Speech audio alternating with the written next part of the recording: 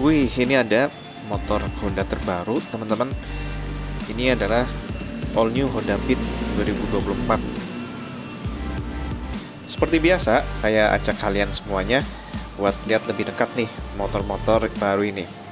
Itu seri Beat Street, kalau yang ini yang Beat Deluxe. Kalau kita lihat teman-teman tampilannya sudah berubah ya dibanding Beat yang sebelumnya. Ini uh, penampakan dari depan seperti ini mulai dari atas juga udah beda nih teman-teman berubah. Nah ini kepalanya ya head covernya. Kalau menurut saya ini lebih keren yang sekarang. Nah ini lekukan lekukannya dan garisnya sangat tegas teman-teman. Ada tulisan Honda juga di tengah. Keren lebih bagus ya teman-teman. Dan ini ada motif karbon di spion sehingga lebih sporty mantap. Kemudian ini smart lock untuk membantu kita menahan motor ketika berhenti di tanjakan ataupun turunan. Gimana teman-teman menurut kalian? Dari atas ini cover headnya. Auranya vario ya teman-teman. Walaupun ini 110 cc Honda Beat.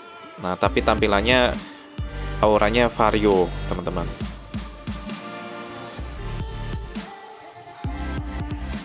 Selanjutnya kita bergeser ke tengah. Ini adalah dudukan plat nomor. Nah, ini ini bahannya plastik, teman-teman. Ini gabung dengan cover tengah. Ini covernya yang bertekstur.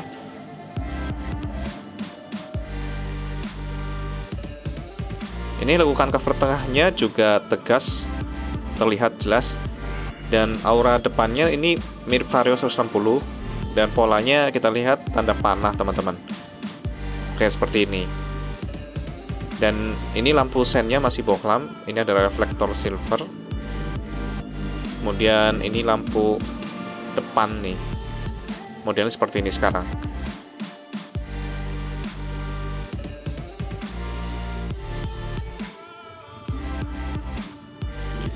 Lukan-lukukannya mantap. Ya terlihat jelas lebih tegas. Dan ada tulisan Honda ini. Di fairing ataupun sayap kanan kiri.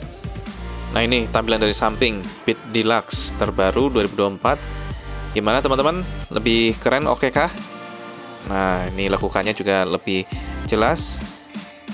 Nah di sini kita lihat, oh ini sayapnya double layer teman-teman. Ada cover dalam yang ini dan ini cover luar sehingga ada double layer seperti motor-motor sport. Honda memang detail ya untuk lekukan-lekukan body covernya teman-teman dan lebih tegas dan runcing-runcing seperti itu sehingga menambah kesan sporty. Rem depan disc brake atau cakram teman-teman. Dan ini ukuran bannya 80 per 90 menggunakan ring 14 ban tubeless ini disc brake nya kemudian shock depan teleskopik. Wah ini tatapan tajam Honda Beat baru 2024 ini tipe deluxe teman-teman Warnanya ada yang biru, silver, hijau, dan black ya, hitam yang ini. Kalau tipe deluxe memang polos teman-teman tanpa stiker, paling hanya tulisan Honda. Wah, ganteng sekali teman-teman. Palang motif pelek seperti itu ya, sama. Oke, nah ini yang menarik. Kalau kalian beli Honda Beat, ini dapat cover footrest gratis teman-teman, yang variasi ini. Keren ya, ada tulisan Beat dan kombinasi warna silver. Kemudian desain speedometer baru teman-teman, seperti ini tampilannya. Ada cover speedometernya juga sporty sekali. Kombinasi antara analog dan digital. Kemudian tampilan bodi belakang seperti ini, ada tulisan bit. Kemudian ini box filter udara, ada emblem ESP. Ada perubahan ya tampilan bodi belakang seperti ini jadinya lebih keren sih, lebih berani untuk lakukan dan desainnya. Nah ini sudah tidak menggunakan Kickstarter atau selahan teman-teman. Tuh udah polos bagian CVT itu. Jadi seperti ini perubahan desain dari Honda Beat 2024 yang terbaru. Gimana menurut kalian teman-teman? Bagus gak? Kalau menurut saya sih ya lebih fresh ini ya, lebih lakukan dan desainnya lebih berani dan lebih tegas yang ini. Lanjut kita buka bagasinya nih. Wah, seperti ini penampakannya teman-teman. Wah, ini dalam juga nih bagasinya. 12 liter kapasitasnya. Dan ini untuk tangki bensinnya 4,2 liter. Ya, kalian bisa naruh barang banyak ya di bagasi itu. Ini ada stiker MPX, ya, oli AHM ya. Oli standar pabrikan yang direkomendasikan. Single suspensi. Ini tampilan dari lihat belakang lebih keren dan lebih enak dilihat. Coba kalian bandingkan dengan Honda Beat kalian yang sudah punya. Kalian bandingkan nih desainnya bagus yang lama atau yang baru nih. kalian pilih yang mana nih? Pilih yang desain baru atau yang lama? Lanjut ini rem belakang tromol, motif peleknya sama.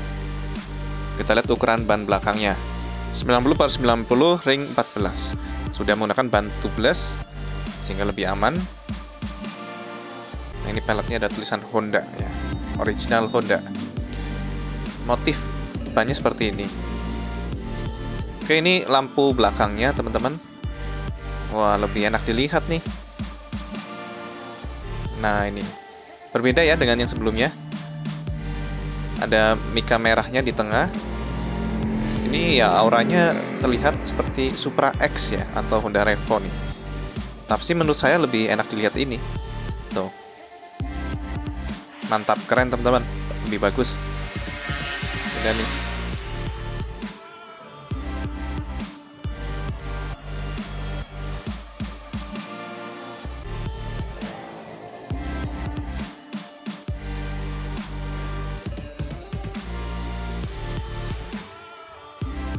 Untuk kapasitas oli mesin 0,65 mili ya untuk penggantian berkalanya. Ini protektor knalpot juga beda ya teman-teman. Infonya untuk Honda Beat ini dalam 1 liter bisa menempuh jarak 60 kilometeran. Ya tentunya sangat irit ya, karena sini sudah menggunakan fuel injeksi BGM FI. Untuk akinya itu yang 12 volt 3 ampere teman-teman.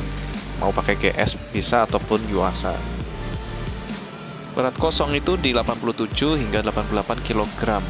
Wah, kurang dari 100 kg teman-teman. Ringan juga ya. Untuk desain joknya seperti ini, menggunakan kulit sintetis bertekstur sehingga tidak slip. Dan bonus pijakan kaki ini rubber ya bahannya teman-teman, sehingga tidak licin. Tinggi tempat duduknya 742 mili dari tanah. Untuk rangkanya ini menggunakan SHAF teknologinya teman-teman dan mendapatkan garansi 5 tahun dari Honda. Jadi sistem pengeremannya ini CBS ya, Combi Brake System. Wah ini tatapan tajam, headlamp dari Honda Beat ya sudah LED.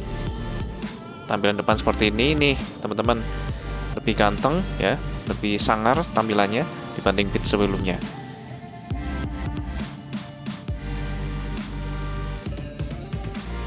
Bagaimana teman-teman? Apakah kalian berminat untuk mengganti Honda Beat kalian dengan Beat yang terbaru ini? Ya ini untuk entry level ya, cocok untuk pemula yang baru punya motor misalkan untuk harga motor Honda Beat ini yang tipe Deluxe CBS ini sudah menggunakan Smart Key System. Harganya itu di 20 juta 400-an. Bisa cash ataupun kredit. Silahkan kunjungi dealer-dealer Honda terdekat di daerah kalian. Sudah ready stock.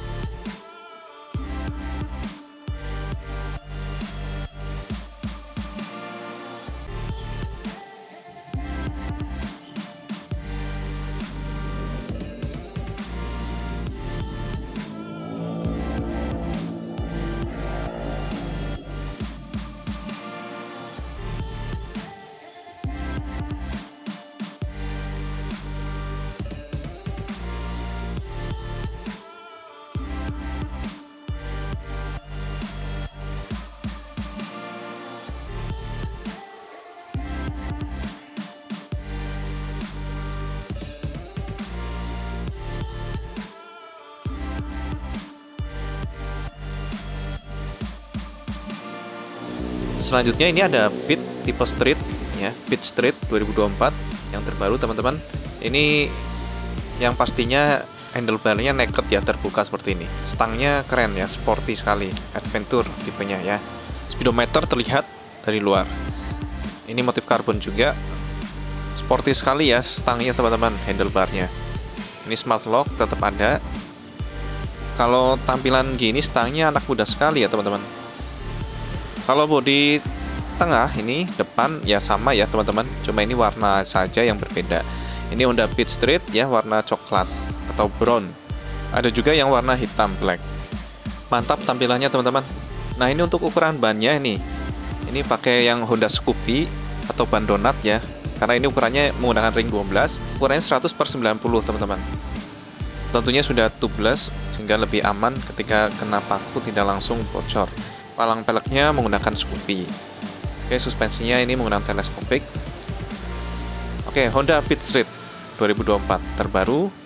Ya ini versi yang streetnya, yang lebih sporty, anak muda ya, tampilannya adventure seperti itu. Yang ingin tampil beda. Ini tampak bannya tadi lebih lebar ya, 100 per 90. Oke, ini tampilan depannya nih, warna coklat ya. Warnanya uh, unik ya, jarang yang punya nih warna spesialnya. Oke, bannya ini lebih lebar tapak bannya. Kemudian sudah disc brake atau cakram. Oke, ini ada tulisan bit ya. BAT, bit. Kemudian ada tulisan Honda, lukanya juga keren ya. Suka sekali nih lukannya lebih tegas. Sayapnya juga lebih lebar ya dibanding yang versi sebelumnya, teman-teman. Oke, langsung saja kita bergeser ke bagian cockpitnya atau bagian dashboardnya. Coba kita lihat. Tentunya di sini speedometernya berbeda ya model dengan yang tipe deluxe tadi. Ini lebih sporty dan keren ya. Adventure sekali teman-teman. Ini stangnya nih ya. Lekukannya ini aerodinamis. Model dengan stang terbuka yang ini lagi tren juga di anak-anak muda teman-teman. Oke ini uh, bracket stangnya juga keren. Nah ini masih menggunakan kunci biasa ya. Kalau kalian pengen yang smart key itu yang tipe deluxe tadi teman-teman Nah ini juga detail sekali ya lekukannya. Di sini juga double layer teman-teman. Aerodinamis sekali. Lebih lebar juga sayapnya tuh. Kita lihat ya. Oke ini kombinasi warna brown ya dengan warna hitam cover body dari Pit Street ya.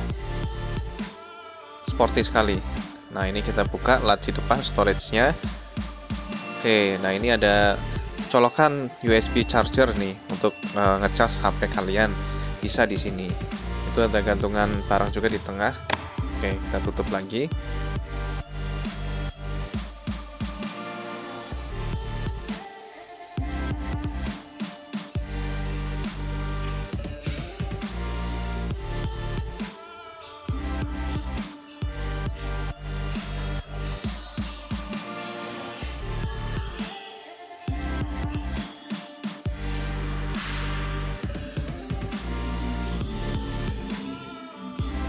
sebelah kiri ada storage terbuka juga ya itu.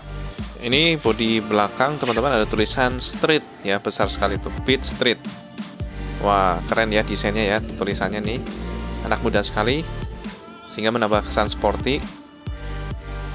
Untuk spesifikasi masih sama ya dengan yang tadi Beat Deluxe ya. Nah ini ban belakangnya ukuran 110 per 90 ring 12 ini kembang bannya juga lebih rapat teman-teman sehingga udah tapak bannya lebih lebar kembangnya lebih rapat ya sehingga uh, lebih aman saat bermanuver. Oke ini tampilan lampu belakangnya. Lebih compact ya. Seperti ini. Ini pit street.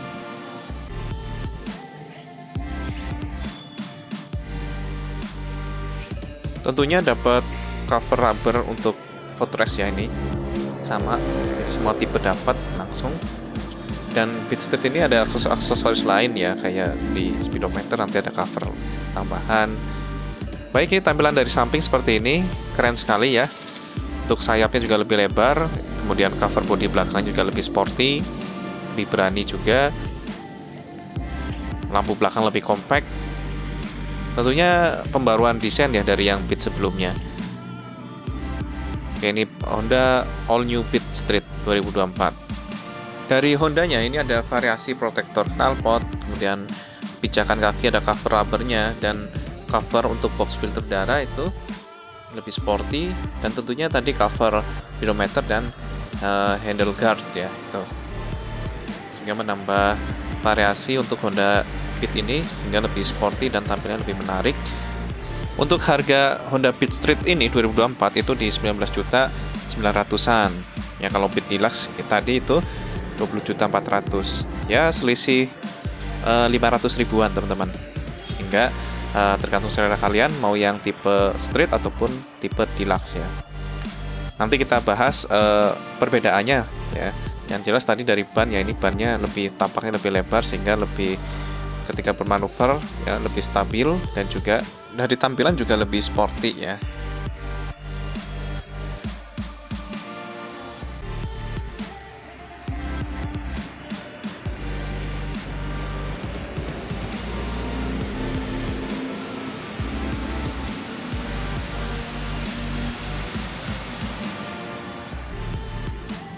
Oke ini bagasinya tentunya sama dengan Pit Deluxe ya 12 liter Oke lumayan dalam.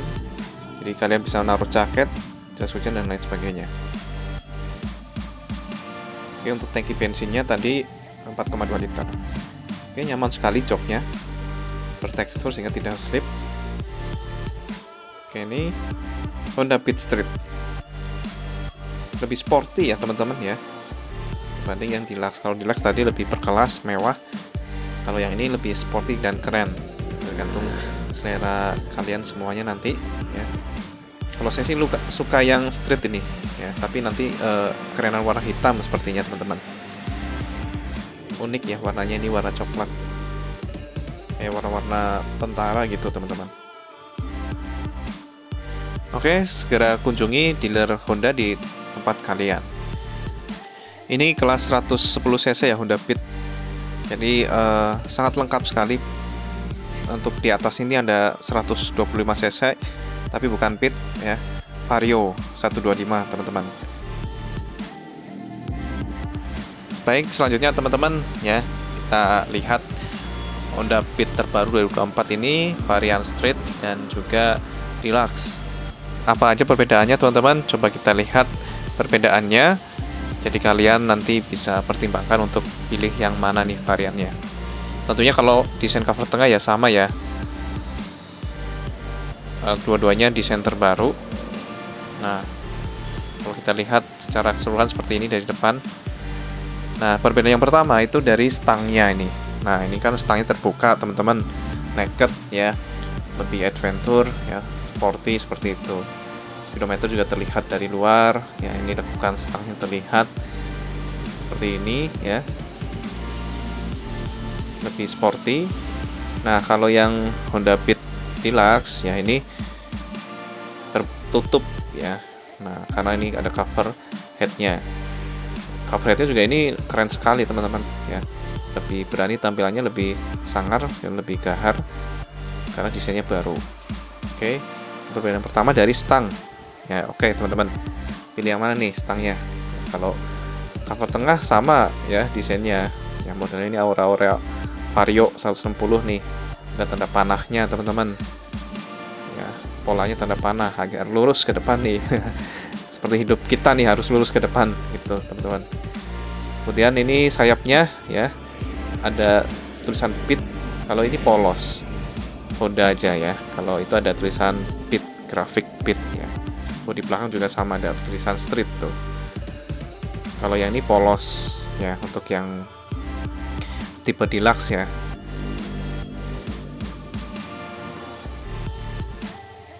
Nah seperti itu desainnya grafiknya ya. Nah yang ketiga ini ban. Ini palang peleknya seperti ini seperti Honda Beat yang sebelumnya. Ya. Ukuran bannya ya tentunya berbeda ini. Ini ring 14 kalau yang ini itu ring 12 teman-teman Nah ini palang peleknya berbeda ya. Yang ini pakai Scoopy, kalau yang itu pakai Honda Beat. Oke, ini tampilan dari atas seperti ini. Oke, ini palang peleknya seperti ini. Honda Scoopy. Ya, nyebutnya ban donat gitu. Orang-orang mah nyebutnya, teman-teman. Oke, ini tadi ring 12 100 per 90 sehingga lebih lebar nih ukuran 100 lebar bannya 100 mm ini motif kembangnya juga lebih rapat-rapat ya sehingga mengurangi slip dan tapak joknya lebih lebar sehingga lebih stabil ketika bermanuver, zigzag dan lain sebagainya. Kalau yang ini, yang pit straight ya, ini kembangnya seperti ini ya, umumnya seperti itu, standar. Menggunakan ring 14, ukurannya 80 per 90. Untuk yang depan. Untuk suspensinya sama, tipe teleskopik, ya, hanya beda ukuran pelek, motif pelek, dan ban, gitu teman-teman. Oke, itu perbedaannya seperti itu ya. Perbedaan ketiga dari ban dan pelek. Oke. Tadi yang pertama dari stang, kemudian dari grafik motornya dan yang ketiga dari pelek dan yang keempat dari bannya. Oke, banyak ya perbedaannya ya teman-teman ya kalau dilihat lebih detail gitu.